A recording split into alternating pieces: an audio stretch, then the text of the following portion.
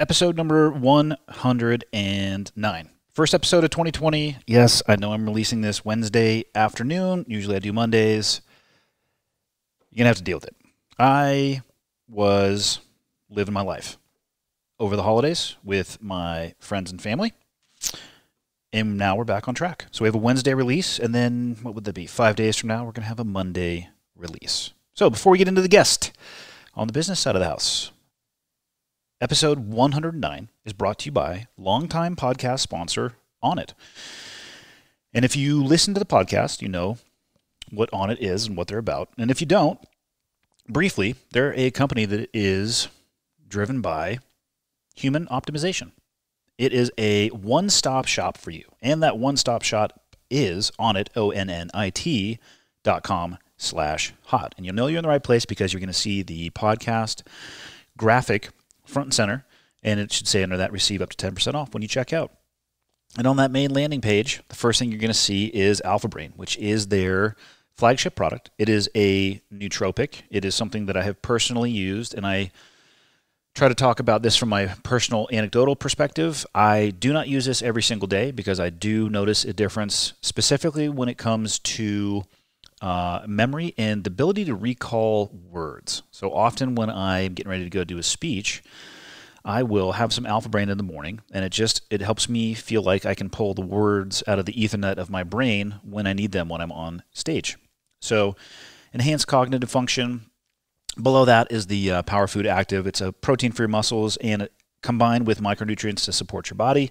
Power Food uh, at its finest. And then fitness underneath that is going to be your portal to shop for items you can use in your pursuit of optimizing your health and performance.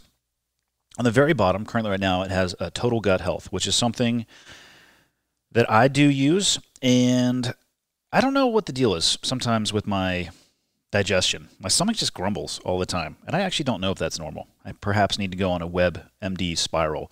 But I find when I take the total gut health and I actually focus on, you know, some probiotics or microbiomes, it does seem to get better. So maybe I need to work on that a little bit in 2020. And I enjoy their total gut health product. But that's just a little bit at the very top of the page. There's supplements, nutrition, fitness, apparel, anything you could want. There's written word, videos, audio, apparel, equipment that you can use, and then, of course, the nutrition. So dig in there.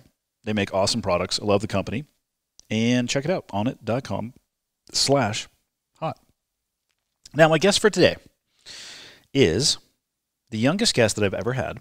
She is the daughter of Travis and Kisa Davison, the owners of SBG where I live and train here in Kalispell and also Whitefish. And then there's actually four in, well, it's not the Flathead Valley, but there is Whitefish, Bigfork, Kalispell. That makes kind of an L in the Flathead Valley. And then there's down in Missoula. So there's four SBGs here in the area of Montana that I live in. And they have four kids.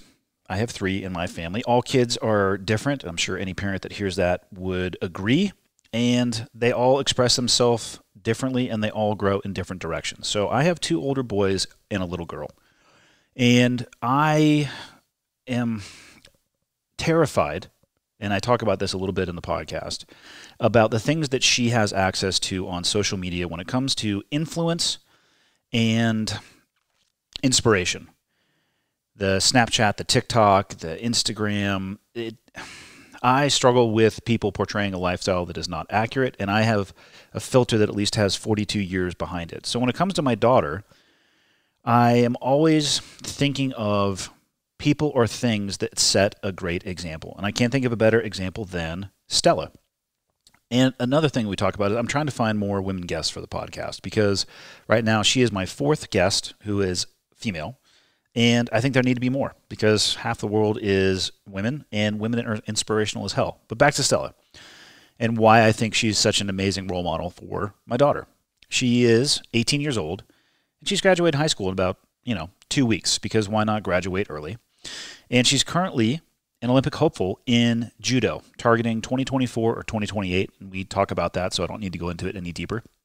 But she's been doing also Brazilian Jiu Jitsu since probably she could move. I suspect Travis and Kisa were, you know, folding her into, uh, you know, arm bars and turtle when she was laying in the crib with her twin brother.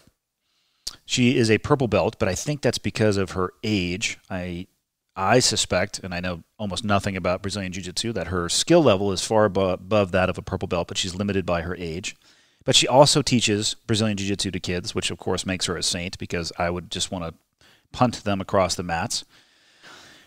But the, when it gets to being an inspiration and a role model, the reason I say that is she's created and crafted a life for herself around her goals. She's driven, she's disciplined, she's goal oriented, she's organized. And that is an example for my daughter. Not about judo, which is her target, obviously, but just about life in general. And I'll let her explain the rest. And she is joined with return guest Travis and Kisa Davison because I thought it would be interesting to have both sides of that coin the individual perspective and then the parent's perspective of raising that child and helping, hopefully, shepherd them towards their goals. And that is what, what, wow, double what? That is what episode number 109 is about with Stella Davison and her parents, Travis and Kisa. Enjoy. Okay, smoke. Gun run, north and south, west of the smoke, west of the smoke. Okay, copy, west of the smoke. I'm looking at danger close now. Come on with it, baby, give it to me, I need it. You're cleared hot. Copy, cleared hot. Please don't look at me. This is perfect. The fact that the lights are dim. Okay, Look- tell me when you, you press that record good. button. Oh, It's not on yet. It's red. It, it Yeah. goes green when it goes It's on. armed. It's just armed. It's not going. So first cuss word out of the bucket. that's fine. That's sign language. It doesn't that, count. it's we're in an audio only format right now, so that doesn't That's the only way I'm going to cuss tonight. What's your What's your guys' hang up with that? I mean, you These guys. guys make me feel bad about my language all the time. That's I have true. heard both of them say absolutely everything that you say many times. Are we just going to sit here and pretend can't- that you you- two don't cuss? You yeah. can't prove Are we just going to sit here and I'm not that? even going to try to prove it, but I'm just saying that I I- have been around and I and don't know heard what you words two. he's talking about. That's fine. now look at you. You're, Excuse me while I Silence. turn off my whatchamacallit. Your I watch. I don't know how to do it. It's your watch. you should be fine. Oh, there it is. Do you do it on here? I thought you did it on You your can't. phone. It's the same as your phone. You can just hit the Oh yeah, it's the bell, half moon. the no bell. You got it. Okay. Whenever you're ready. Are you ready, ladies? Don't Isn't this look at all me. about Stella? Don't Why look at can't she me, look at you? Because it makes me laugh. This is going to be spectacular. Uh, So, we can talk about whatever you guys want to talk about, but I was thinking about this uh, in the last day or two. I um, have only had two female guests on the podcast, which is a disservice. Probably a good call. That's actually. not true. I I've been on your podcast before as well. You've Okay, had, three. You've had four female guests on your podcast. I'm counting. This is why you shouldn't have You female had- guests on your podcast. Do I need to count them all? prefer if you didn't. Go ahead, because Okay. it hasn't been four. Hold Actually, on, I, I want take you back. to. You've had three. Correct. She will be the fourth. Yes, but I've also done 108 episodes, Okay. and so your point is my a point valid is- point. Just my be point is- accurate in your data. okay, hold on, let me. Which microphone are you? We'll just do that. oh, he actually clicked it. I can, yeah. No, we'll turn it back on. Point being, it is obviously 50% of the population is women. I have a daughter, and the thing I can have different conversations with my sons than I can with my daughter, and I have made the mistake more than once with my daughter of uh, trying to motivate her the same way that I can motivate my sons, and it's just very different. So I look at my daughter and what I want her to be able to do as far as success or planning or motivation, and you, Stella, are an awesome example of that for where you are in your life and where you want to go and how regimented you are. And so it's not just awesome for my daughter. I think it's just awesome for women in general. I'm trying to find more. I think it's important to find more women guests to talk about the awesome stuff that they're doing as well. You bring up a very interesting and valid point. So that's what I want to talk about. How we get there is up to you guys because you're obviously joined with your mom and dad, which is a good call because I don't know you as well as I know your mom and dad, and so they can help keep things on the rails, keep us moving in the right direction. How about th- how about we start with this? How about we start question for Travis and Kisa. How? What do you guys think of when you see your daughter? Be nice. Depends on the time of day, what day it is. in general, where she's at in her life and where she's going. I'm going to need a glass of wine if we're going to have this deep of a conversation. It's You directly have- in front of you. actually have one. People don't see that. They do now. Yeah, it's directly in front of you. So I, when I look at my daughter, it's the same feeling that I had since the day she was born, which is, oh my God, there are so many possibilities that I can see for her. Is she going to see those possibilities? Does she see those possibilities? And what can I do to make sure she doesn't f- mess it up? Yeah, no pressure though. Travis, Uh, boy. I, I, I- think uh, I feel a huge amount of pride, you know, when I, when I see her because uh, I realize how awesome she is. And, um, you know, whether it's valid or not, I, you know, I take some credit for that. Um, and so I, uh, mostly I feel just uh, a lot of pride. I, I take a lot of pride in the fact that she is so driven and so disciplined and responsible and hardworking and um, you know she's doing a lot of times the things that I thought that I would do when I was younger. Maybe not in judo or, or, or martial arts, but like skateboarding or whatever, where, you know, I thought I would, you know, become the best in, in that field. And I never did. Um, and then I look at her and I'm like, holy shit, like she's, uh, she's actually going to do it. You know what I mean? And, and, and that's uh, pretty surreal, um, pretty awesome. And at the same time, um, and I'm sure this will come up later when we're talking, but I really haven't done that much um, to be responsible for that. You know, I don't I don't wake her up in the morning and say, "Hey, Stella, it's time to train," or "Hey, uh, you should do this camp," or "Hey, why don't you sign up for this tournament?" Um, there hasn't been any of that. Um, I've I've not uh, ever? never, never. Is that true? yeah. Yeah. I think if you said those things, I probably wouldn't want to do them. I've never. That's fair I- though. I- I, Yeah. think because there's different ways to motivate people, and yeah. and that approach. No, the motivation has people. to come from me. So where did you find it? When did you? So, I'm trying to think of the best way. Would it be better for you Hold to on, introduce your hold on. daughter, or for I was going to say back up. Does anybody even know who she is? Well, that's what I was going to go to next. I was talking to you guys. Jeez, Usually, just Kisa? assume that you're no one. Then you have That's to good prove yourself. It's a good rule. Hi, I'm Stella. indeed. Would it be better for Stella to introduce herself, or you so. guys to introduce her? I think you should introduce yourself. Stella, it's all yours. well, I already said my name, so Stella Davison. yeah. Uh, you can work yourself backwards from what your goals are, or start at the beginning. Your choice. that's pretty broad. I've only been alive 18 years, but it doesn't seem like. Uh, What are you training for right now? Um, judo. Specifically, what?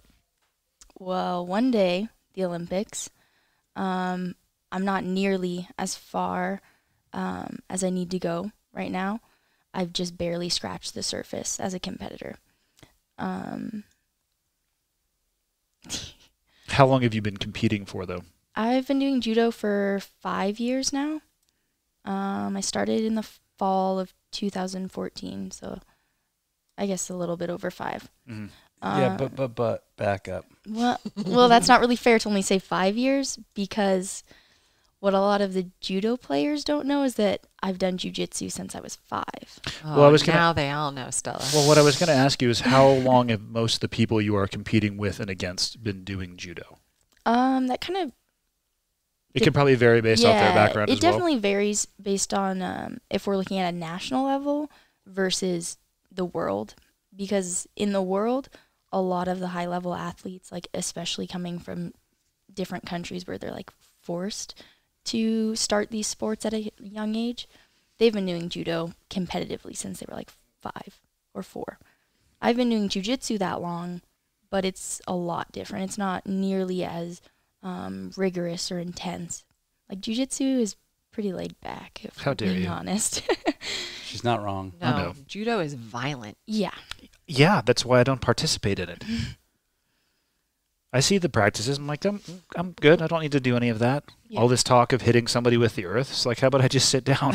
yeah, it, and it's it's not even just the throws or the big takedowns, but like the grip fighting and just being like shaken around and like Which you probably got a lot of exposure to the grip fighting, though, and I would say the competition and probably the performance anxiety that comes from that in your jujitsu career leading up to that, yeah. which has got to be a huge advantage.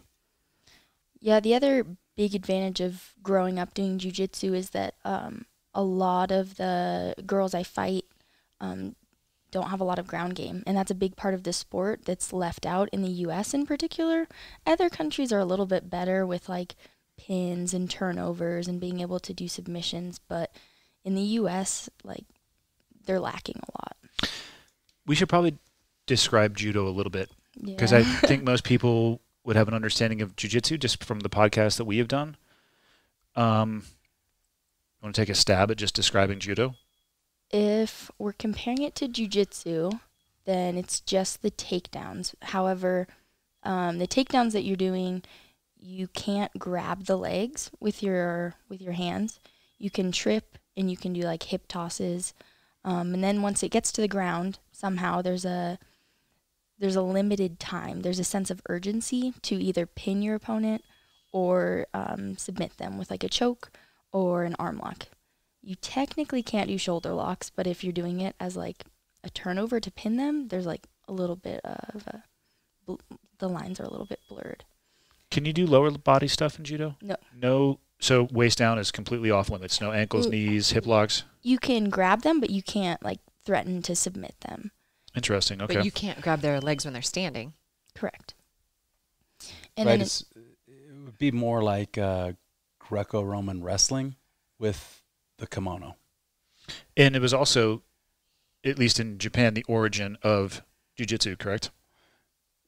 Yeah, I mean the two were um, Or they started indistinguishable Okay. in the beginning. to begin. All right. Right. So the Newaza, the the groundwork that Stella's talking about, um, the difference was is uh, the the rule set as it changed, uh, kind of led judo in the direction of putting more of an emphasis on big throws, and in jujitsu it put more of an emphasis on the submission. So I think this is an interesting question. Not that it's my podcast, but I would like to ask her this question. That's exactly why you guys are here. What is it? I mean, you grew up doing jujitsu. Well, first of all, even before jujitsu, I was going to say, we're like halfway into the origin story. We're not even. you grew up basically wrestling your brothers, yeah. three brothers, and we are a competitive family. Let's be Yeah. Oh, honest. and that's Just not true. bit. I mean, if we were c- to compare ourselves to other I families, just like made we're a the statement, most and they're trying to fight me on it. Don't you think that's grounds for being? I'm going to stay out of this one. Good call.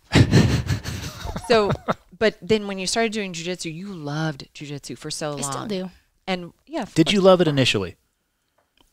Um, Even before she did it, she loved it. I was really upset when they let Ricky, my twin brother, start jujitsu before me. So Because I'd imagine as gym owners, you see kids who love it, kind of in the middle, like bleh, and then kids like, I don't want to do this, but their parents are just like, Oh yeah, go that's do my younger go brother. to class. Oh yeah. yeah There's- no, it's like that with everything, right? I mean, But th- honestly, there's very few people who actually push their kids into it. Yeah, unfortunately, there's too many parents who take the approach of, oh, well, my kid doesn't like this, therefore we should try something else. Yeah. Um, I'm all for, you know, your, your, your children should definitely pursue what they're passionate about. But we've talked about on another podcast. Um, there are just certain things as parents where we know that something's good for our kids regardless of whether they want to eat their broccoli or brush their Yeah. teeth or wash their hair or go to school, we're going to make them do them. Yeah, their wants and desires have to be overridden by the experience that we have. Correct. Because you can see the negative outcome that comes from it. Yep. Um, yeah. I mean, and how do they even know what they are interested in if they don't have exposure? And we also know as, as human beings that uh, doing something for the first time, anything, even as adults, um, change is hard. And there's a lot of anxiety associated with doing something new. Um, so sometimes you need somebody who's going to say, hey, you know what? I get it. It's scary. You're going to do this for at least six months, 12 months, whatever. And then we'll reevaluate after. So my question is because I've actually never asked you this.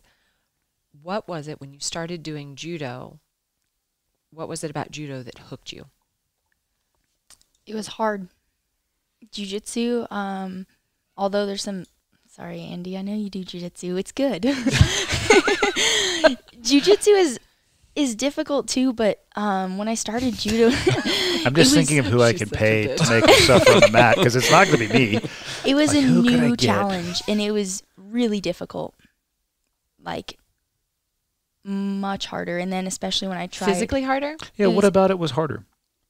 you have to stand up almost the whole time. Yeah. So I would compare judo to like sprinting for 4 minutes and then if you go into overtime, 100%. um Okay. We've seen golden score matches go for 30 minutes. There What did you call it? Uh, golden score? that's when you go into overtime if there's no score, then you just keep going until someone scores. The, at our 30 Yeah, at our last- It's like a sudden death. Sort at our of last overtime. competition, they had a 30 minute match. No exaggeration. And there's and it could have gone for three hours if Yep, it needed to. 100%. Or three Yep. days. Wow. That w- I would like to see that. Three days. yes. Perfect. That was kind of an exaggeration. I've never heard of a match going three days, Yeah. but Yeah. it Somebody could, would have to take a- theoretically. Who was that? Somebody would need a pee break. That or a was diaper. Shoddy and that was the- Kinsella? yep. Okay, so more intense. It has to start on the feet. You ha- you I have guess to jujitsu stay on your matches have to start on the feet too, right? Yeah, Correct, but, but there's no guard pull option in judo. Okay. unless you're going to tomoe nage. unless well, you but that's not a guard pull, so that's pretend like you're Yeah. gonna you can pretend like you're gonna sacrifice throw them and then Shh, oh my Stella, gosh you're in the tell 'em guard and then you can okay Hip bump sweep to mount. Yeah. But To there's also false What? attacks as well. So like if yeah I've if got if, if you before. pull guard per se, um, and it doesn't look like you're actually attempting to, you know, tomoe nage or yoko tomoe nage or some form of a Look sumigaeshi or sacrifice throw.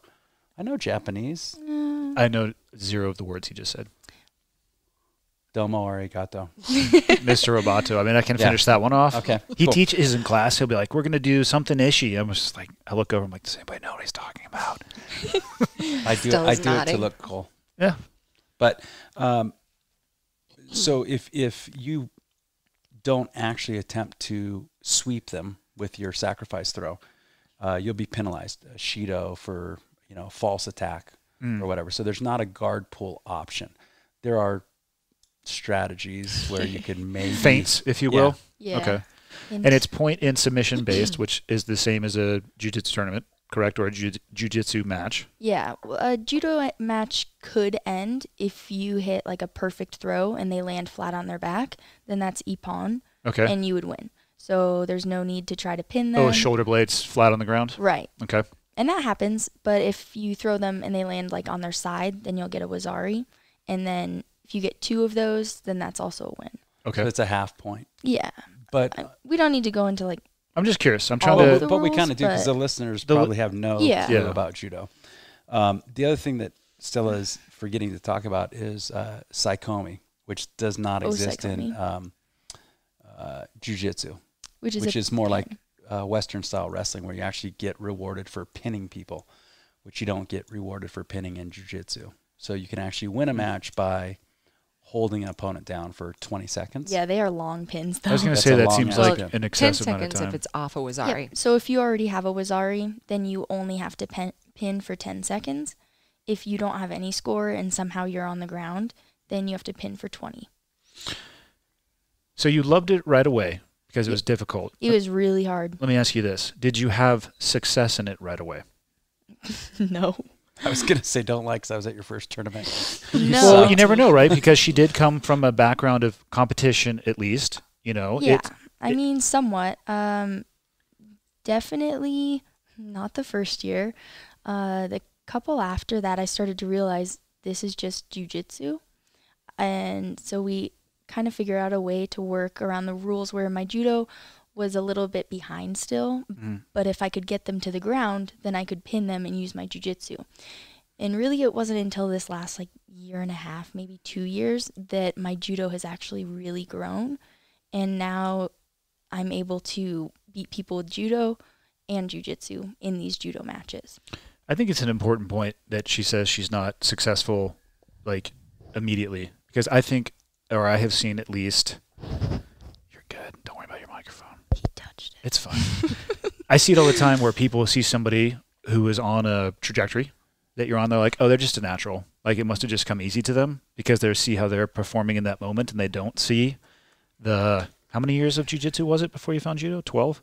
13. Yeah. She's doing math. Oh my god. Look at her doing math in her head. She's we not need, good at the We need. Ricky for the math. She's good at math. I had been doing jujitsu for about eight years before I started judo. Yeah, it is. Five plus eight is 13. I started judo right before my 13th birthday. okay. All right. Pat on the back. Nice work, Stills. That's still a robust amount of experience to bring into a new competitive sport. And I think, like I said, I see people all the time equating success with either either a natural or well, oh, it was the jujitsu. That's what made you so good at it. And you still though had to struggle your ass off. The first year of losing or struggling for people who haven't experienced that, not awesome. Nobody signs up for that. I There- think up front, they probably will feel the value in it later. But nobody comes in and says, "Hey, I'd like to suck for the next year." You know what else I liked There- about judo? I, this goes back to your initial question, Mom, where you were like, why did you like judo? Why did you stick with it? I like it when you call me mom. She usually calls me Kisa. Well, that's your name. um, it was something for me. Having three brothers, we all did jujitsu, but I found judo and I was doing it and they weren't. Who's better at jujitsu between you and your three brothers? Are they going to listen to this podcast? I have no idea, but they're not here. Um, it's not really fair to compare me to all of them because, Let's just start with Joe. well, Joe doesn't do jujitsu anymore. So, okay, you win. Next. Yeah. Ricky, Ricky and I have really competitive matches. I can see that. Um, if we both start on our feet, then I'm gonna get the takedown before he pulls guard, and then from there it's it's a fight because he's gonna try to attack my ankles because he likes to ankle lock, Footlock. foot lock me. But if I can get on top and stay on top, then I can probably win. Okay, so say call it 50-50 then. Yeah, Ted. I'm not gonna fight Ted. I don't want to fight Ted either. He's a madman. Sometimes I like to really like push his buttons and try to get him to, and then mom usually steps in. I can't wait till he listens to this podcast. He'll be like, "Oh my God, Stella!" Yeah, Oh, and he'll listen to it for sure. yeah. I like to. So you can hold your own against all three at least. Yeah. All right, perfect. Fair enough. Especially if there's food involved. enough. So you uh, found it for you and you made it yours. Yeah. 'Cause- Yeah. That's a good point. Perfect world. We are it's January 2020 right now. What's what's the target that you have on the wall that you're aiming for? This year, um, Well, let's go farther than this year. What's your what would you I mean, what's the pie in the sky goal that you have? I've never heard of that saying, but I like it. 'Cause now I'm thinking of to think pie. of another metaphor. Um, Kicking like Kids today. pie in the sky. I thought, I thought that was relatively uh, Okay. known. Um, what's the long-term goal that you have set for yourself? yeah.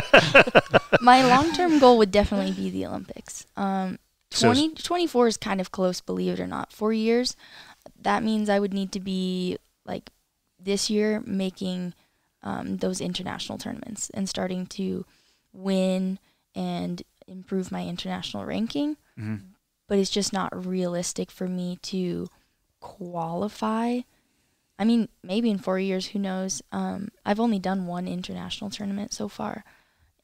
So maybe 2028 for the Olympics. 2028 is definitely realistic. 2024, I think I would be on the international circuit, like competing hopefully throughout the year at a variety of different Grand Prix and Grand Slams. I would really prefer to go to Paris, France for the Olympics, and that's 2024. But no pressure. I'm just saying, like, if I'm going to go to Paris with your mom, Have they declared You 28 don't yet? Like France. We went to Paris. I've never been. How can I know if I like it or not? we went to Paris without you. I'm know. Just for the love of God, do not go through the Charles de Gaulle airport. They will lose your bags. They didn't lose our bags Did you land in Paris and stay there for a while? for 23 hours. Three times I've been through Charles de Gaulle where I got to where I was going and then the conveyor belt just goes around and around It's and actually around. never happened to me at CDG. CDG. Well, I hope that it does, and I hope that you never sound find like your luggage, and I hope like that, that. you need something in that luggage really badly, and that it ruins your trip. well, I also don't pack Well, like the- that. I keep my chocolate with me when I travel so that that doesn't happen. The good news is, is that mm. Stella will be 22 years old in 2024. And th- well, I was going to ask about that through the age too. I mean, what is peak competitive age for a female judo athlete, Olympic hopeful, the term is judoka. judoka? Okay, Yeah, I don't say that too often. Kind of sounds weird when I say it. So judoka. I like it. What's the term for jujitsu? Jujitsu. Jujitsu era? Jiu-Jitsu Rua. A dude. yeah. Basically. So 26 is that early on in mm. your competitive career, or would that be tail end? 20, it's 22. Should No, be 22. No, like say she were talking about the four years after that, Honestly, 2028. it really depends. Like Because there's Ronda some, Rousey was in the Olympics when she was like 16. But also, Ronda Rousey's mother was a substantial Yeah, judo influence. Probably, I'm assuming she was probably doing judo as you were at the same age you were doing jujitsu. But there's also women who There's- are in their 30s. yep. There's some women in their 30s who are still kicking it. Like But Ass. yeah, we say bottom. These are hilarious with We say buns. We say buns. Bum. Yeah. Kicking bum. kicking bum. Yeah, Yeah. just it's very aggressive. so I wonder it's, Hank's it's ears really aren't up. across the board. Like there's also a player from uh, Ukraine, and she just turned 19. She has beat everyone like at every single is that that tall Daria thing?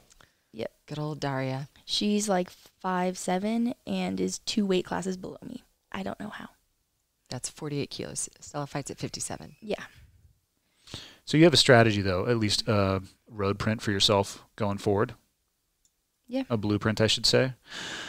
I want to spend some time talking about what you had to do to get to where you are now, because you are a senior in high school, correct? Yep. But you're graduating early, I'm graduating weeks. in mm, 19 days. which is no small feat. Um, that's She's not. also. That's not where I was when I was Are you 18. s- Did you get a B last semester? No. We- She's, Mom, are you still oh? 4.0? I'm a 3.8 right now. That sucks. Kicked It's out. okay. Kicked out. No, it's fine. I'll go back Which to is school. also something we've never pushed her on at all. Well, that's what I'm saying. I think it is. That's why I'm not concerned. Like 3.8 is still good, and I'm Yeah. sleeping and training and happy.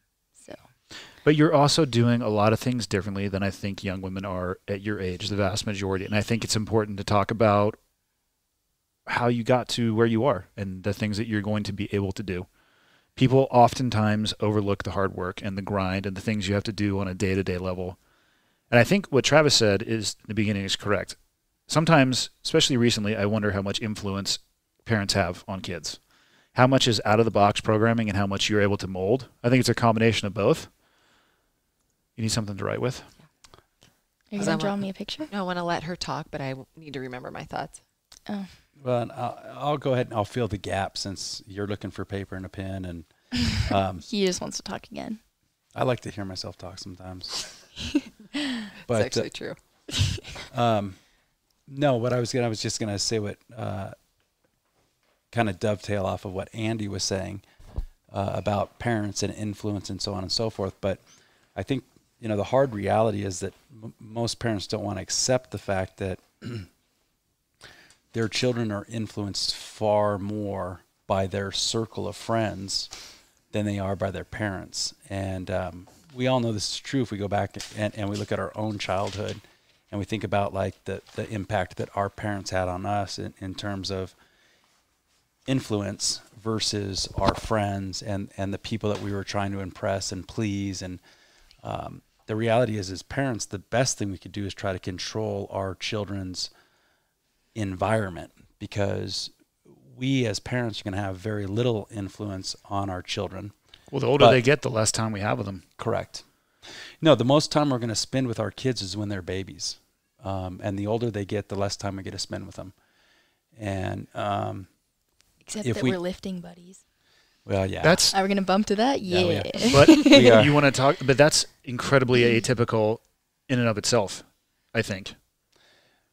Yeah, for sure. It is 100%. Like, I mean, uh, uh, this is about Stella, so she should talk about it. But the reality is, is you asked me, like, what do I think when I see Stella? And I'm like, I think, man, it's pretty awesome. Um, there's a lot of mornings because, you know, we have a personal trainer and, and uh, we work out as a family and as a team Monday, Tuesday, Thursday mornings, and we power lift. And um, I can pretty much always count on at least one person being there and that'll be Stella. Yeah, because Hank's a dog. Well, I can always count on Hank because he has to do what I tell him. But um, so Hank's always I thought there. Travis does what Hank. Oh, never mind. but Basically. the, I think it was a, a couple weeks ago. It was basically just me and Stella. Like the whole week, we'd show up and I'd be like, "Where is everybody?" And it was funny because it was like my 18 year old daughter is the one person who doesn't miss lifting. Is he telling you to come to lifting, or are you making that call? No. Well, most mornings I'm already at the gym. Because, like, tomorrow morning, for example, I have uh, an hour of cardio before we lift. So, So, what time does your cardio start? Walk me through an average day, like a an, a, a training day in your life. I was just telling mom how excited I am for tomorrow. Um, I don't have judo tomorrow, so that's unfortunate. That's like one of the only days of the week that I don't get to train judo in the gi. But tomorrow morning I'll wake up at five. Do you want my whole routine, Andy? Yeah, Okay, so I I'll do. wake up at five, and I'll meditate, and I listen to those headspaces. So, your Those- guided meditation. yeah, I Okay. love those. Is Um, Headspace an app or? Yep. Okay. It's an app that I like to use because then I can pick certain um like I don't remember what they're called, but different like units. hmm Like some are managing with some are managing change or like if you're feeling really anxious, if you have a competition coming up. I've listened to all of the competition So you can ones. tailor it towards Yeah, it's awesome. your headspace or what you're trying to shoot Yeah. for. Okay. So I like to start every morning with that while my espresso is brewing. Thank you, Mima.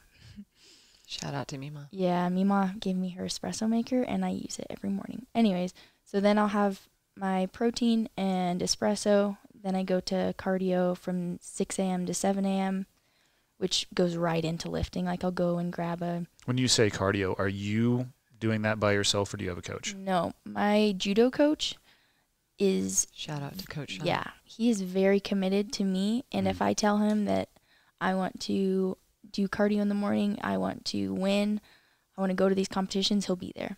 That's the rule apo- that we have we with each other. We should apologize to Sean real quick before you go on Why? for killing his general Killing his general. Why you got to bring up politics? because he's Iranian. We should say sorry. Okay, but he's Oh, stop. American. Damn. You're, you're historical. Anyways, go ahead. Keep going. Sean, He's Sean, not even getting it right. Sean, we're sorry. He's Oh, not even gosh. getting it right. He's not even getting it So right. you're at cardio at six. Yep. And, And- he's he's there with me. and he also runs the has circuits. gnarly playlists. Yeah, Very he good. knows exactly. playlist. He knows exactly what music to play to make me run through the ladders really fast. or if it's like a more calm part, then he'll put on "Walking on Sunshine" because that's my favorite playlist. Um, after cardio, we'll lift, and then tomorrow, right after lifting, I have to run home. Not actually run. This is where I cool down a little bit, hustle to get all my stuff together and go to school. Um, this year I have a gym class. I know it's kind of funny, but I need the credit. But I'll just run during my gym class while they do their guided workout, or sometimes it- Activity. it's just a game day. But I've talked to all my teachers; they know what I'm doing with my life, and so I'll just go run. Um, after school, I'll go teach jujitsu to the cutest human beings who exist, the four-year-olds, and then the teenagers. A little bit more difficult. The worst. Maybe not the, worst. cutest human beings. When you being. say Yes. worst, Travis, are you referring to the four year olds or the teenagers? The teenagers. I will take three and four year olds all day. All day. I was going to say I concur with that. I don't even teach them, but I concur with I Awful. disagree. I like all the age groups.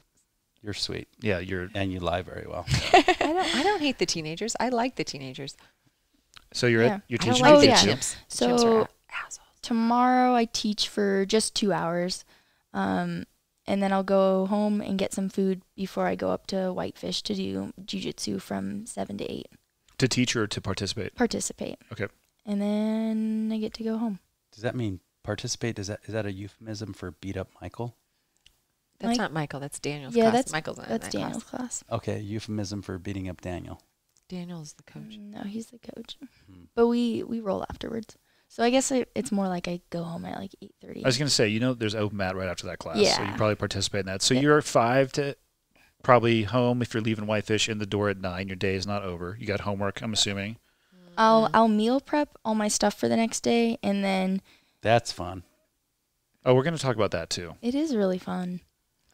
What time does your normal day end? Hold on. We got to get her through her day. Uh, do you mean like what time do I go to sleep? Yeah.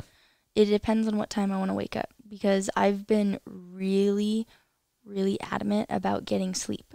I, I think sophomore and junior year, I would just sacrifice my sleep. I was trying to be a 4.0 student, a good coach, um, and try to be an athlete. And I was just like, okay, I just need to not sleep. Like, that's fine. And I would get like four hours of sleep or five and just keep going. But I realized that I was, Then you got pneumonia. yeah, okay. So then I got pneumonia and missed a bunch of competitions. A month. She was out for a month. Oh, yeah, I don't doubt it. No, it was really bad. Yeah, four or five hours is not enough.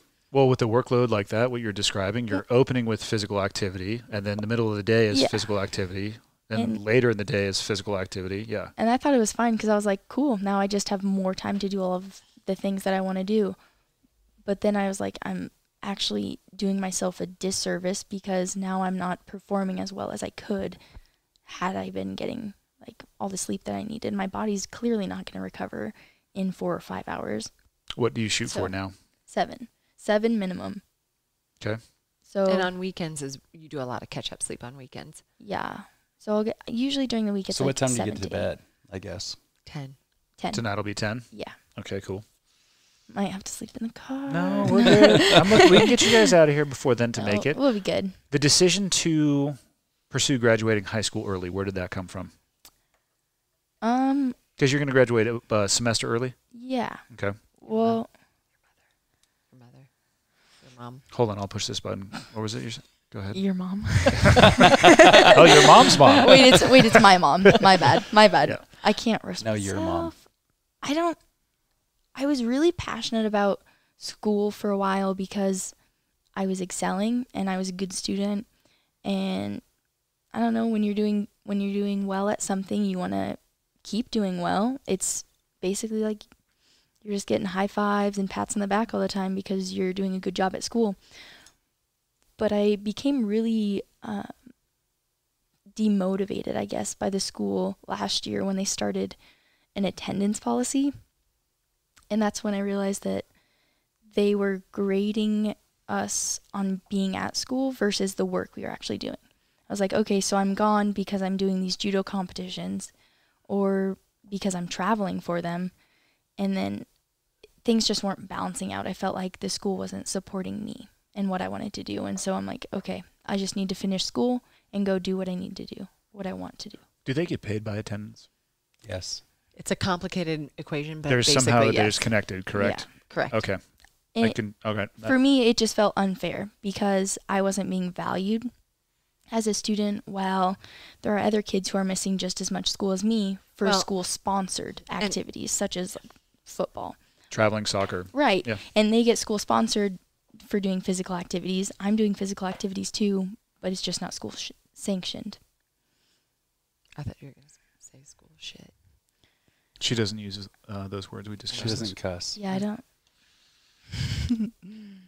The meal prepping. I love meal prepping. So do we. We love it when you meal prep because you're so quiet about it. And Maybe at this point, your parents can talk a little bit about you and what it takes for you to be able to do I the things that you do. I already know they're going to be mean to me about it. I don't think they're going to be. Stella. Can I tell you why I meal prep and why I like follow the plans that I'm given from uh, Lockhart and Leith Nutrition? Yes. Oh, shout out to Lockhart and Leith. yeah, Yeah. good because Headspace doesn't pay you. Well, They got a shout yet. out for free. mm, headspace. Headspace, look us up.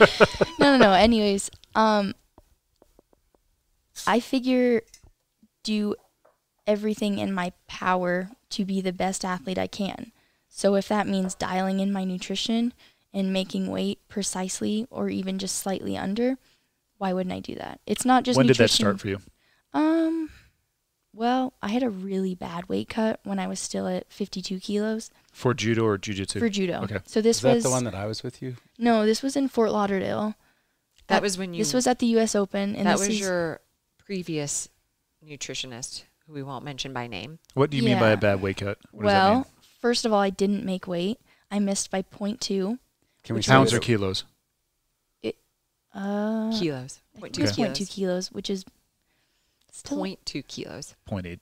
What is that? 0.8 pounds? 2.2 times what It was ounce? a pound. it's basically. really close. It sounds like 17 pounds. I'm not sure on the math on that, but no, it's like half a pound. No, no, no. It was you It was missed by joke, Stella. 0.5 kilos. No, I did You not. missed by one pound. No, I missed by half a pound because I remember looking at the scale and it said 52.2, and then that was the worst feeling I've ever felt. It was awful. I It was in Washington with you and you missed weight too after we were we did like three or four baths. What? No, I've, not I've only missed weight in Fort Oh, Lauderdale. you well. Off the record, she may have talking missed about? weight, but they counted it.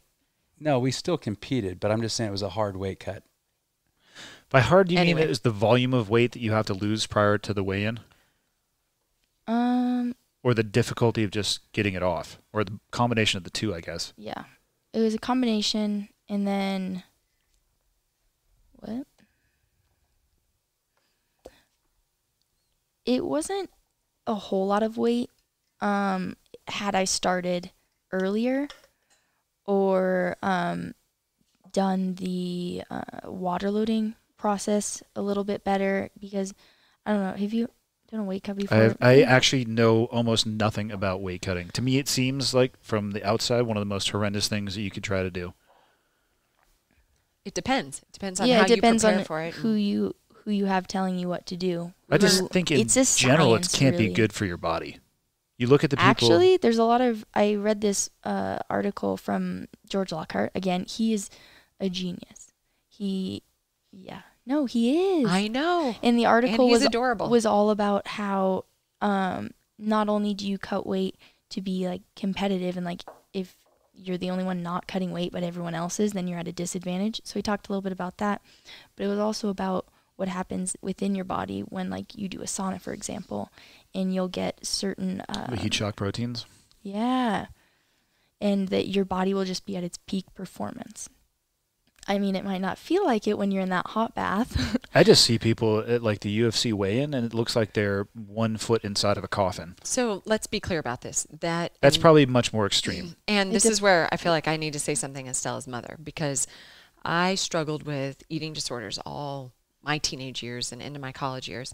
And so then to have my one and only daughter be in a sport that was very weight based, mm-hmm.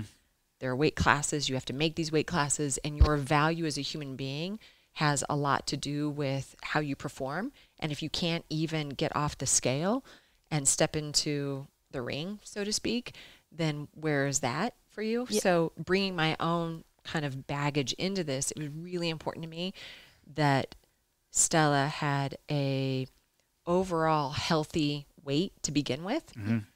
which m- had very little to do with her weight. It had more to do with just who she is.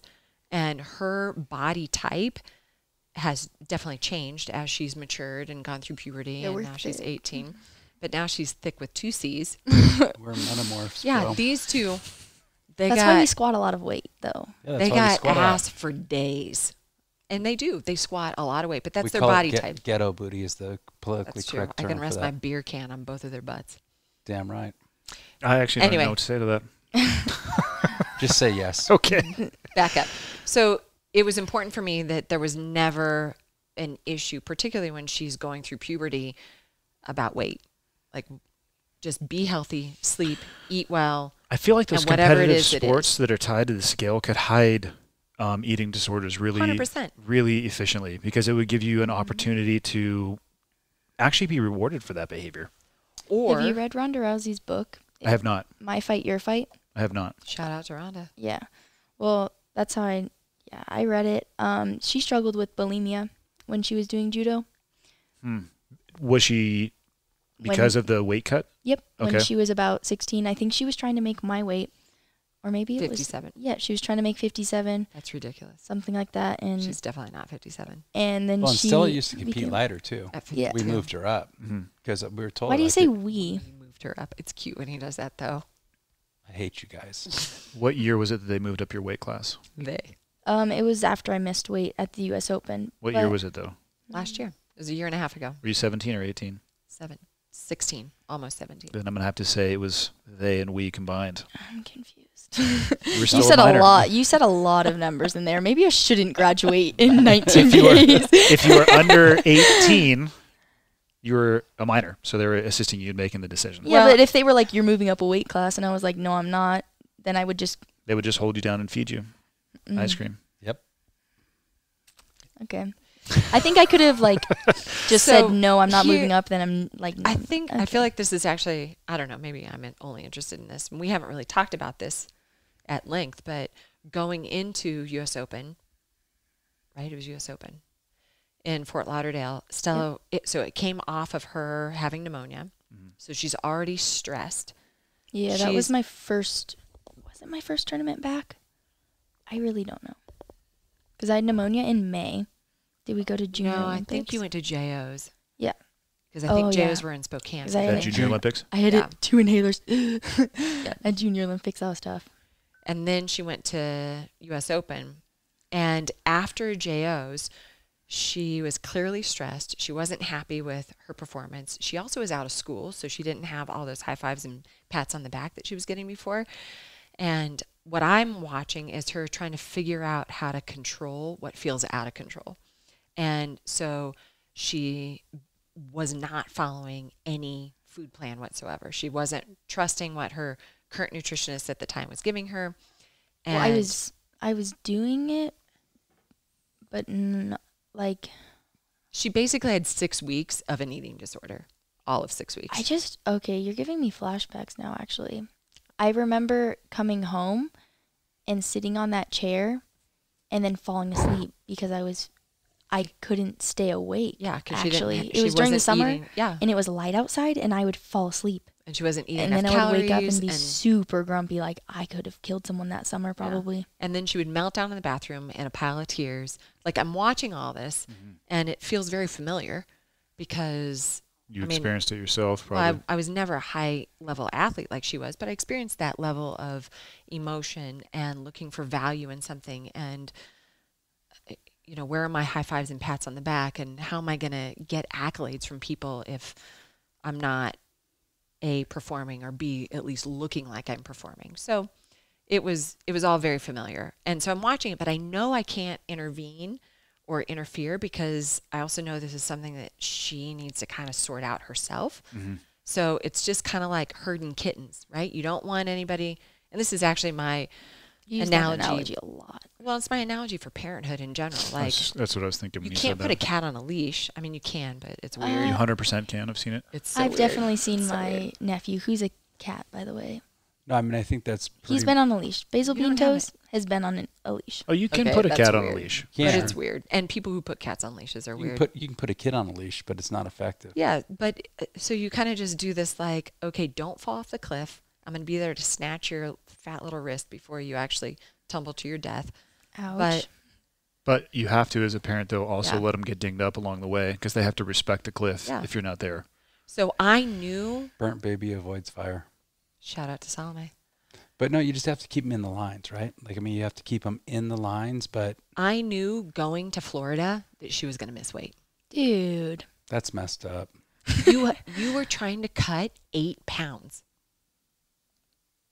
So I was 122 when we left, No, trying to make 114. I can't do the math. Yeah, That would be correct if she was trying to make 114. She's pretty good Yeah, at the fifty-two. math. Okay. that was good, huh? No, I All think right, that's yeah. another fist bump. Boom.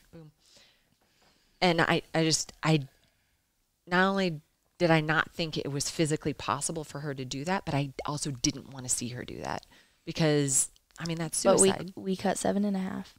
Yeah, and I was there every step of the way, and it was painful. And then when she missed, it was even more painful because no one likes to see their kid disappointed. Yeah. and that heart wrenching. But I thought, all right. And then thank God It's more They than were- disappointed actually, they were, they said, okay, well, you can fight up a weight class. which they don't do, by the way. They never do that. World tournaments, tournaments, absolutely It'd be just a hard pass. You were down right there at the You're scale. Like, oh, you And- flew to Morocco and you missed weight? Sucks to suck. Enjoy the espresso out in the market. Yeah. National Yeah. tournaments, And the Cobras. also, it's normally not allowed. I'm not really sure why did they did that at this one. I don't know. But they let her move up to 57. Mm. And then She kicked ass and then I at got- 57. silver at the U.S. Open. I was way smaller than them Can because say, I had cut Can that. we say out loud who you beat? Why? Okay, never mind. Can you look it up on the internet? Yeah. You might as well say it then. Yeah. Well, it was just a big deal because the U.S. Open is such a high level Just U.S. say- tournament. Say her name. Or don't. Anyway. Uh, but yeah, you- people can look it up on the internet if yeah, they're curious. can look. So Big sissies, I would say it. I don't know it. Or I would say that it. was That's when we decided to move up though because I realized, well, for me, I was like, okay, I'm smaller than them and I still beat them. Why am I not in this weight class? right, and you can be stronger. And this is where this is what I weigh anyways. so whatever. Enjoy your big butt and your boobs, and That's be at inappropriate. 57. Have you always been this driven? Mm, yeah, I think so. What advice would you give to young women your age?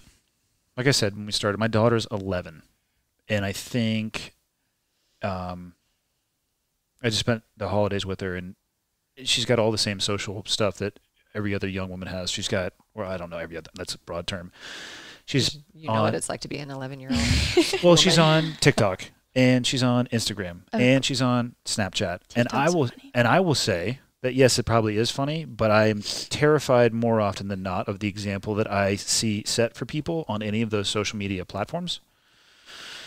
Uh, I don't know the generous way to say it, but um, I mean maybe let's just say sometimes the world that those people are portraying is artificial as opposed to real life Yeah. and you are in the middle of a journey that you're looking out potentially eight years from now. Yep. What advice would you give to an 11 year old little girl who wants to put a target eight years down the road on their life to get to the place where you are, where it's at least achievable? Because you still obviously you got a lot left you got to do, right? There's a lot of road in front of you, but you also put a lot of mileage on the road behind you as well.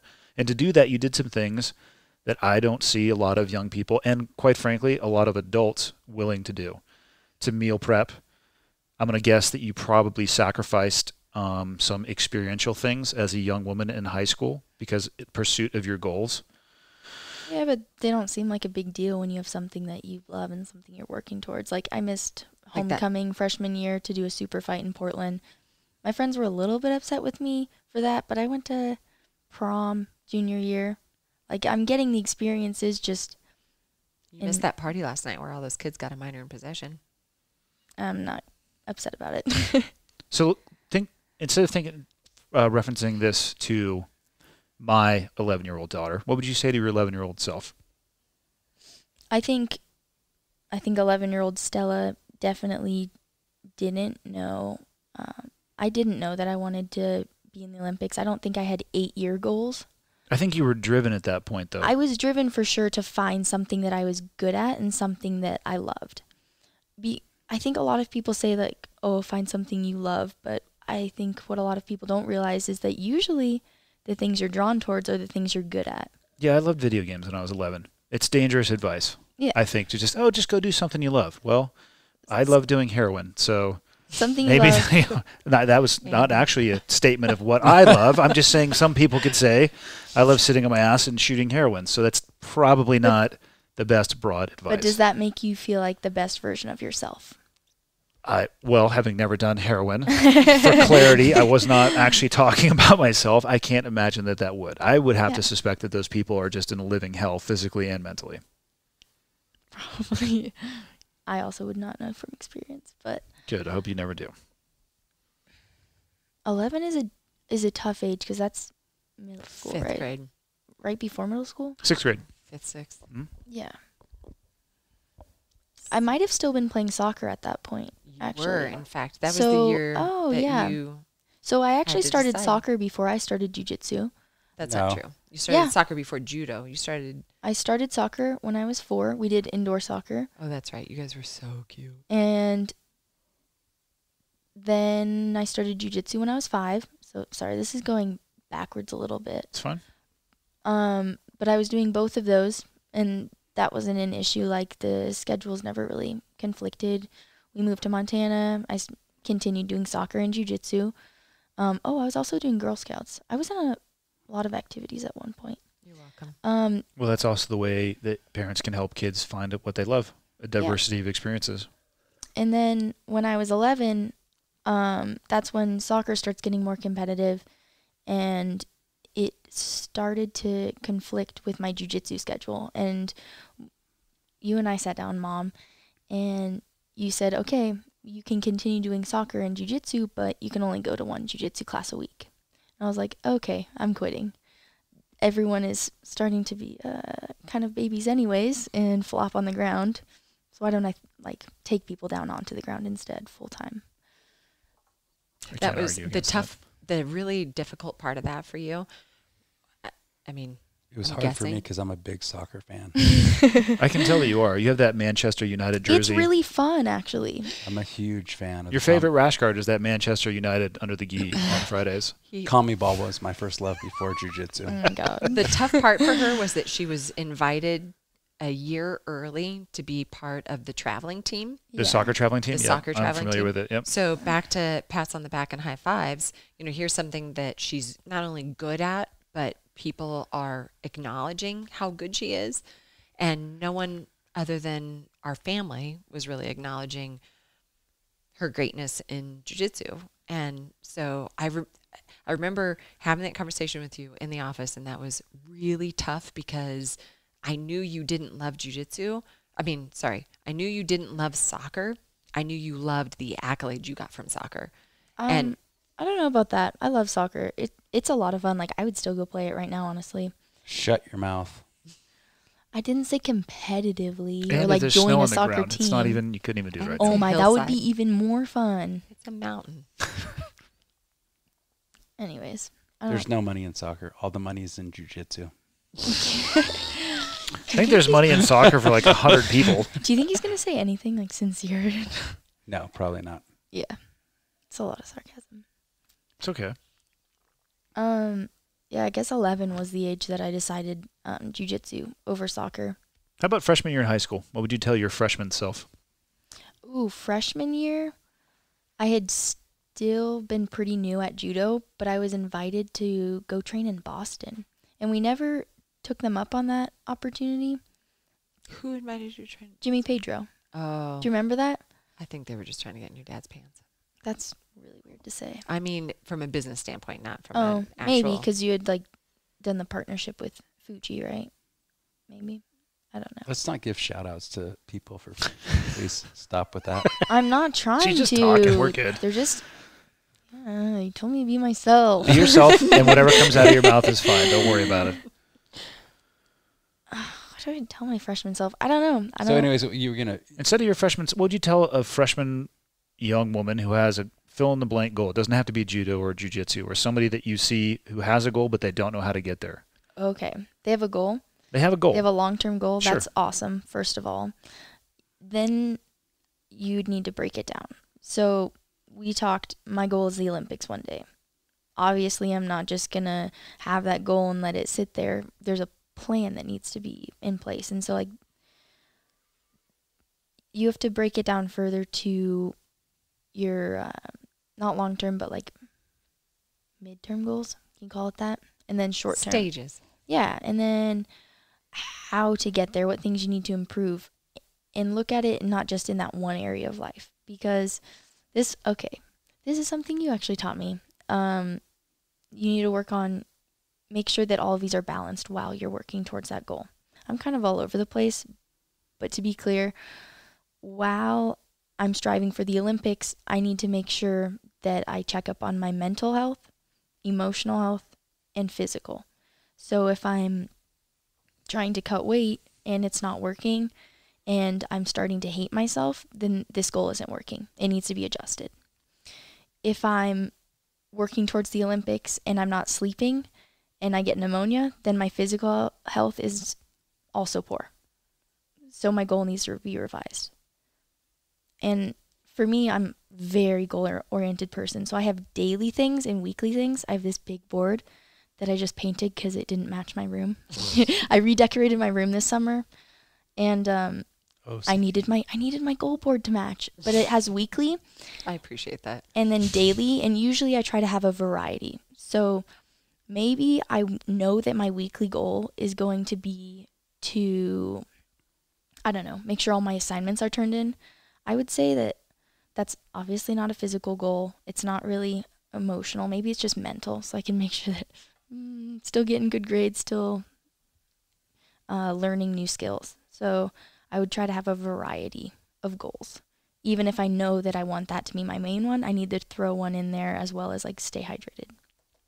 Just little things to make sure that I'm balanced. The important part about that too that I've seen in you is that then when you start to when you feel like you start to fall behind in one area, you're usually pointing to the other areas like, well, at least I'm doing this or at least I'm doing that. So, okay, I'll continue working on this rather than if you only have one singular focus and you start to falter, then Gets all, overwhelming. yeah, all hell breaks loose and Yep. you're a pile of tears in the bathroom. I hate it when that happens to me. I always remember to hydrate because I see the post-it note that says, yeah, I hear you have some interesting notes for yourself. That was on my whiteboard because I have a whiteboard too. My whiteboard oh. is where I like to do my like to do lists. So like if I get home, I know I need to do laundry, meal prep, shower, lay out my clothes. I like the You have that stuff written out? Well, I like to check them off Shut on up, my Andy. whiteboard. Fair. No, I'm asking. I'm not. Jesus. What's wrong with that? I, there's When no you- judgment. I'm curious of how far out she actually structures it. "We, we Well, like when you- check, we we like like to check our checklists. I love off." checklists, and on the whiteboard, It actually does feel good off. to just check stuff 100%. off. It's so Sometimes I'll write a checklist with things I've already done, and I'm just like, Go back. chick, chick, chick." That's cheating. Andy, I do But it that feels sometimes good too. though. it feels good. Where if what do I'm I in need to do today? I'm like, wait a minute. What have I already done? Andy, always put at the top It's of your, actually valid. at the top of your list. Put wake up. That's or, what I do. Or, I or do put that. make a list. okay, I actually do it too. Yeah. I do it too. I But do. the- I even check off shower. The important part of that The important part of that though is that you should celebrate the little victories. yeah. Make your bed, brush your teeth, wake up. Oh, that's part of my Sauna. routine too, Andy. Lift. Make your bed I don't doubt morning. it. Yeah. Mm-hmm. We just mm, at the same time. I That's know, awkward. kinda weird. So, as her parents, Oh wait. okay. I feel like I Oh, have they're to gonna talk about what's on my whiteboard. Oh, So- yes, no, I no, need to I feel understand. like I have no, to no, say what's on your whiteboard Wait, wait, because wait. it's- there's a cuss word in it, and you guys can't say cuss Okay, words. but remember? just wait. But I can. I and was. you can. We talked about lists because on my whiteboard I like to do lists. But if there's something really important that I need to do or remember, then it also goes next to the list on my whiteboard in like some sort of cute cloud or like circled in a different color so that I look at that. Okay. So Hold important on. things go on I'm that. writing it down for you. Oh, you want me to read that? Yeah. This is one of the the labels for Stella to herself. For some reason, I was not drinking as much water as I needed to. It's not like I was like dehydrated, but I knew that I wasn't like I need to drink four of my 32 ounce water bottles That's a day. what it looked like when I so walked in into nice, the room. So this was a note to Stella. Note to Stella from Stella: Drink water, you dehydrated bitch. In her own words. Yeah, and and that did the trick. I believe there was an exclamation point as well, I think so. or maybe something was underlined. So that, But that- the, my favorite part was that there was like a puffy cloud around Yeah. it, and it was like Just around the edges, you know. Yeah. in a hot pink. So then, as I'm going through my checklist, I'll take pen, a drink from my I water bottle because I'm like, okay, Hmm. stay hydrated. weird. It's kind of like when I go to my refrigerator and there's a bunch of Tupperware in there, my Tupperware that I paid for. That's not my- entirely true. that's actually not true. She No. pays for a lot of that stuff. I I buy Tupperware. You wouldn't know because you don't actually, You give Hank my Tupperware all the time, and you put disgusting and you actually ground you, up organ meat. That's because Hank listens to me. And but anyways, you also give That's Hank her actually yogurt. arguable at times. well, he sometimes listens, which is like that time you told him to eat that baby. Wait, I told him whoa, not whoa, to. whoa, whoa. But he tried to, didn't he? He tries to eat. We can't talk. sometimes. We'll bring Hank on for the next episode. We'll talk about let's oh my talk God. about those Tupperwares and threats of cutting people. Oh my god. What? you said I will cut you. That was written on a Tupperware. Correct. If you a- touch this, I will cut you. It was on a sticky. What was in that actual Tupperware? I think it was probably chicken. Is that your go-to?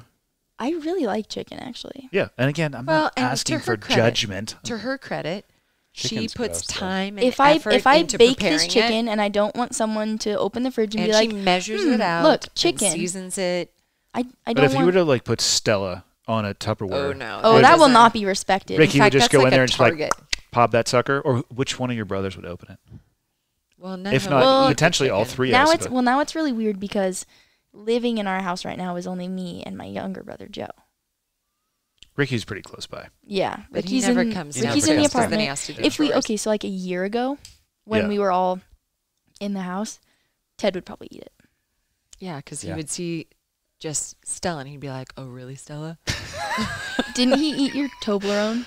He he eats all my stuff. Yeah. Yeah. He just When eats does he when does he go home from college or He go back home- to he went He's home home tonight. tonight. You went back. Home. He he's not home. He's at the dorm. Yeah, it's Well, when did you guys, away. as parents, notice the drive? Well, because you have In you- Stella? well, you have four kids, and I mean, I have three. So between us seven, is it safe to say that there's seven wildly and completely different personalities? Some shared traits, but others obs- obviously incredibly different. You answer first. When did you notice or see? th- So two part question: notice and see the drive, and then as a parent, what did you do to help facilitate that without becoming the helicopter parent? Without, you know what I mean, empowering and enabling her as opposed to driving her as a parent. uh, the drive uh, didn't happen right away. So in in jujitsu, um, there was a lot of kicking and screaming and and dragging people onto the mat. Are you talking about me? Yeah, I had to bribe you with like iPads. And That's oh my god, No, you your didn't. understanding of history is so warped. okay, fine. Remember when I You bought my own first. iPad? Remember when I saved my own money and bought my own iPad? Is that what you're referring to? Is that it? Or when she bought her own AirPods that your Uh, dog no, ate? I was talking about being at tournaments where it was her turn to compete, and That's she different. that wasn't drive. That's different. That's anxiety. yeah, that's completely different. That's not going to the gym, going to your class. Was, sorry, I didn't realize this was the Martha Stewart podcast. Kisa, perhaps you'd like to answer. I don't really understand what his joke was about. I don't either. But Kisa. uh, Stella had drive since day one. She when she was a baby. First of all, she and her brother were born at 30 and a half weeks. So I was the alpha twin. that's true. And it's all because of her. How do you guys know that? Well, first of all, was I was A. bigger. I decided that Like this is an objective thing, or you just say that because you No, want no, to no. She make was baby Ricky Oh, A look- She was because she was Okay. closer to the birth canal. I was the Okay. alpha twin. Okay. I decided it was time to be born. 100%.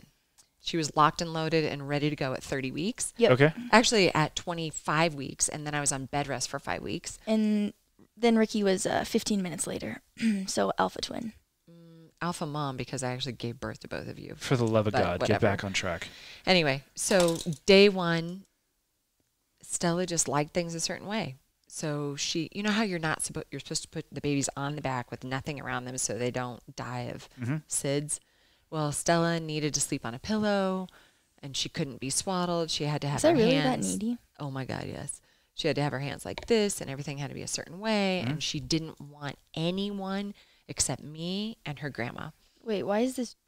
Why is this my drive though? It's 'cause that just you- sounds like I'm really picky and that you allowed me It's to the be same picky. It's the way it expresses itself when they're when you're that young. Yeah, hundred percent. It's the you knew how you wanted things, and you just made sure that they happened that way Hmm. since the day you were born. Okay, I see the. She wanted to now. crawl, but I, she was my only daughter, so I put her in dresses all the time, and so she just bear crawled on her toes and hands so that she wouldn't put her knees on her dresses all the time.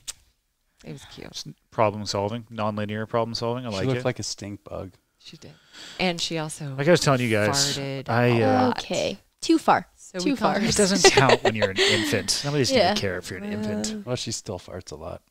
Uh, it's I uh, don't think that's I- true. Your dog farts way more. That's true. How do One more- you? one more thing I'll say. yes. all four of those kids, my kids, our kids, are driven. They're just driven in different ways.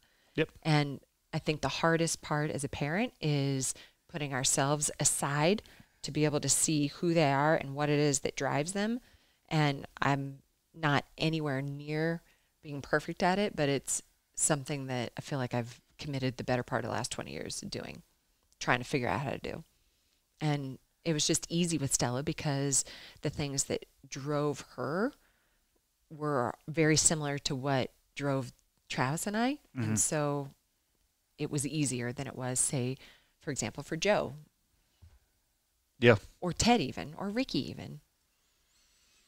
So I would like to take a lot of credit for Stella, but the reality is that just luck of the draw. I think that's the case sometimes with high achievers, but I also think that there's a lot of lessons that can be learned with the way that they structure their life that enables people who do- maybe don't have that in their uh, software, for lack of a better term, when they start day one. There's some stuff that you can do to enhance for sure. Yeah. What would you? Uh, this is a tough one, only being 18, but in the last you know four years in high school, is there anything that you would have changed? Do you think that you could have? Enhanced where you are even more by making a change looking back? I think I could have had a little bit better of a relationship with the school. Um, I think that they probably could have helped me out a little bit more with like attendance. So I'm going to go out and do these judo tournaments and then I'll come back and catch up on my work or do as much as I can beforehand. And I would communicate individually with my teachers, but I think I should have had a little bit of a better relationship with like our activities director or like the principal, and maybe we would have been able to work something out. But instead, what needed to happen is that I am kind of on my own, Yeah. and I'll do my work on my own, and then I'll do my judo competitions on my own. I'll do all my training, but there's not really the support that I think um, could have been received. I mean, maybe the traditional school system she might just might be a good, may not be a good fit for it. And there, there's a lot of competitors out there who are homeschooled or do Yeah. online school, but um, I don't think we really saw that as an option because for a while I was still thinking about college or a different university. Like San Jose State was a big goal of mine for a while until we realized that um,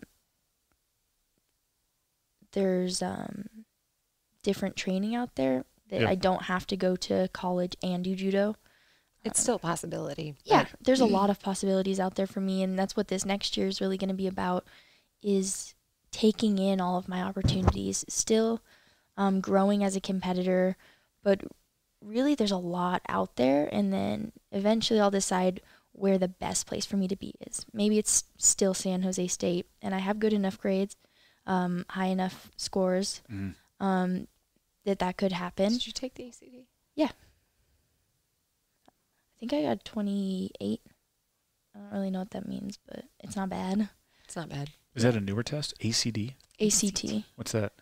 It's just it's the Heck. equivalent just of a s- SAT. Like there's standardized test. You can Okay. do both because some colleges. Anyways, I San Jose both. State is an option. Um, living in some city in the U.S. where they're really good at judo is a option as well. But truthfully, um, I need to grow internationally, and that's what my judo coach says as well.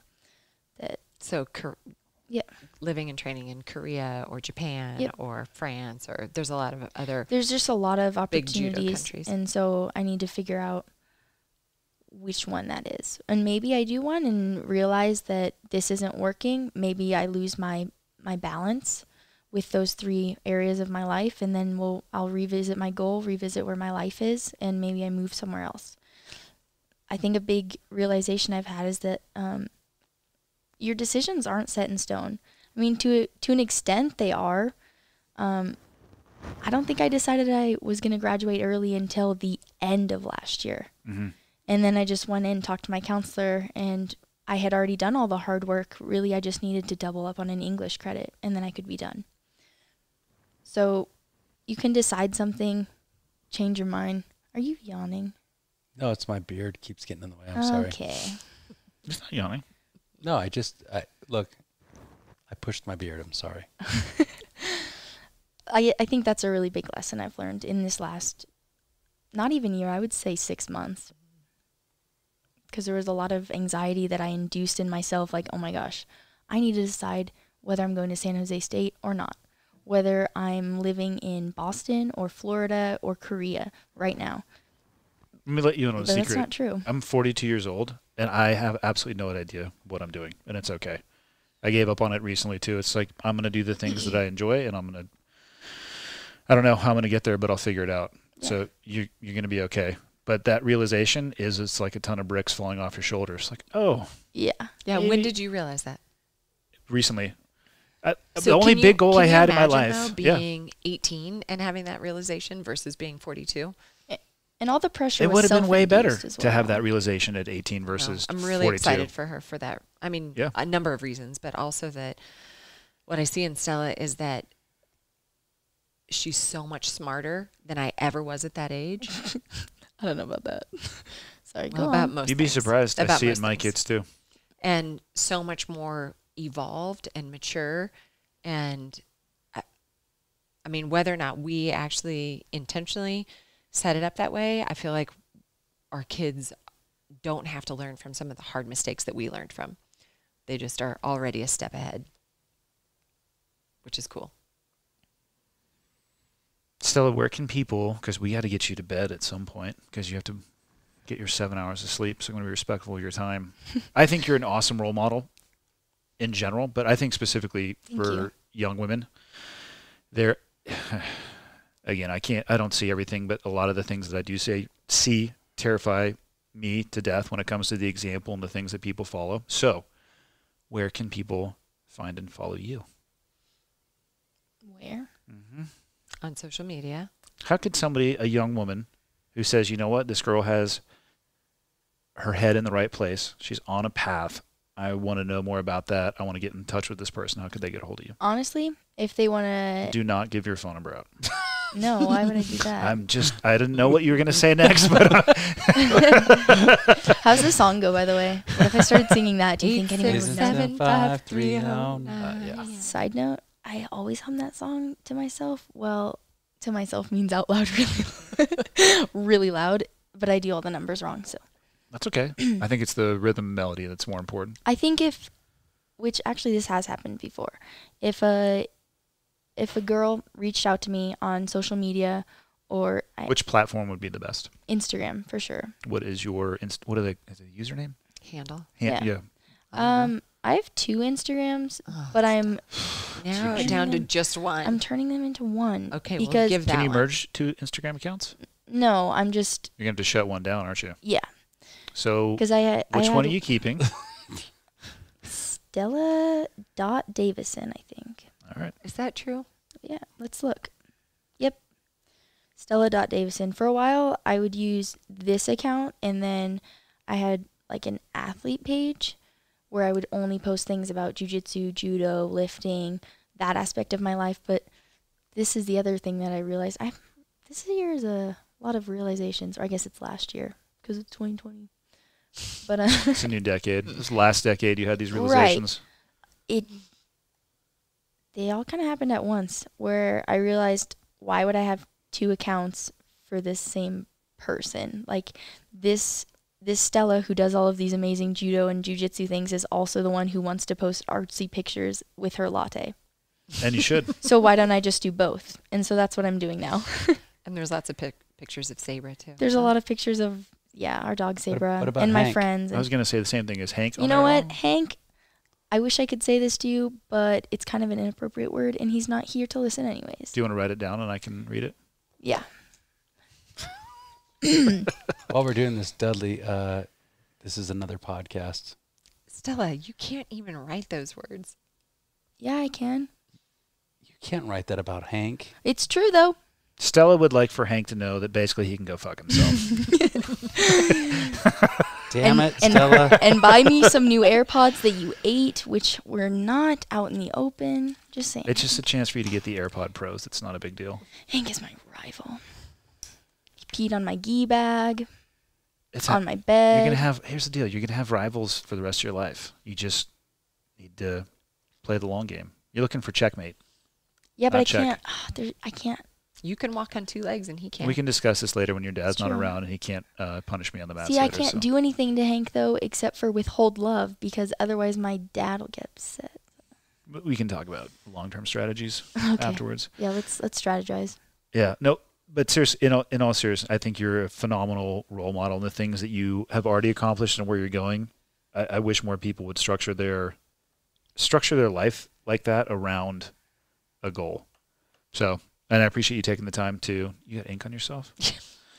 I appreciate you taking the time to come. Yeah, thank you for And having me. Thank you too for bringing her on. I'll let you two close it out because it's your daughter. Thank you too for having me.